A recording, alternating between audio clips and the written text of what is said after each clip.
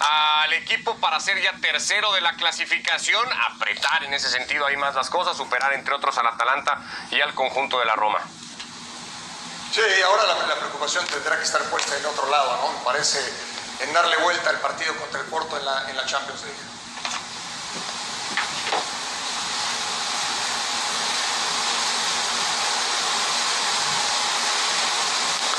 Ahora retomamos con Paco, decíamos doblete de Cristiano, victoria a Andrés del conjunto de la Juve, importante por lo que también había sucedido a mitad de semana, aprovecha también resultados para ponerse ahí de nueva cuenta tercero en la clasificación.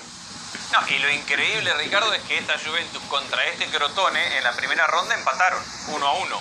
Que lo ganaba Crotone 1 a 0, que lo empata la Juve, que además jugó la última media hora con uno menos y no lo pudo ganar. Es, la evolución de la Juve el haber empatado arrancando la temporada contra este equipo y haber hecho lo que hizo hoy, que es lo normal, que el partido sea simplemente un trámite. Cristiano Ronaldo ha podido meter un hat-trick, ha podido meter un póker, porque ha tenido varias situaciones de gol, nunca estuvo en duda el, el partido.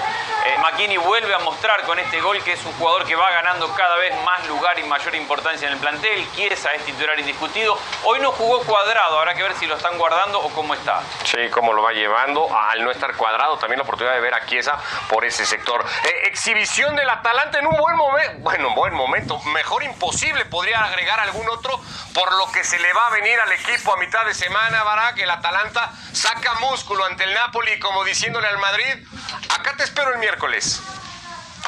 No le fue fácil, ¿eh? No, fue un primer tiempo en el que el Napoli logra defenderse bien. El Atalanta lo hemos visto muchas veces eh, y, y faltaba más, ¿eh? no, es crítica tampoco. Y más desde que se fue Papo Gómez. En esta situación en la que no puede abrir la lata y en la que ni siquiera genera oportunidades de gol, que tiene la posesión, la iniciativa es así, no, va a renunciar a ella nunca, pero que no tiene ideas. Todo eso fue en el primer tiempo. El segundo fue otra cosa totalmente distinta. De los pies de Muriel. Eh, lo, de, lo Muriel es tremendo, porque lo de Duban Zapata hace rato que está en ese nivel, lo de Pesina también es muy bueno, pero lo de Muriel hoy, hoy, hoy estuvo en todas, todas las acciones de peligro, eh, la, la, la goleada que, que, logra el Napoli el domingo, estoy diciendo hoy, pero bueno, porque hoy vi el partido, pero realmente el partido que hace Muriel a nivel individual, más allá de todo lo que ofrece siempre el Atalanta, te habla de que el colombiano, los dos colombianos, ¿eh? pero sobre todo Muriel, está en el mejor momento de su carrera. Quiero pensar que como tú hoy viendo el partido estará Zidane y varios más en el Madrid repasando y, y buscando eh, alternativas, soluciones por donde Tienen dolor de cabeza. Mucho el partido del Zidane está pidiendo algo para el dolor de cabeza en este momento. Al séptimo lugar se va, por cierto, el Napoli de Gatuso. Volvemos para meternos justamente a esa previa al partido del miércoles, a cómo lo encara el Madrid, que entre otras cosas hace el viaje a Bérgamo sin Karim Benzema como estaba ya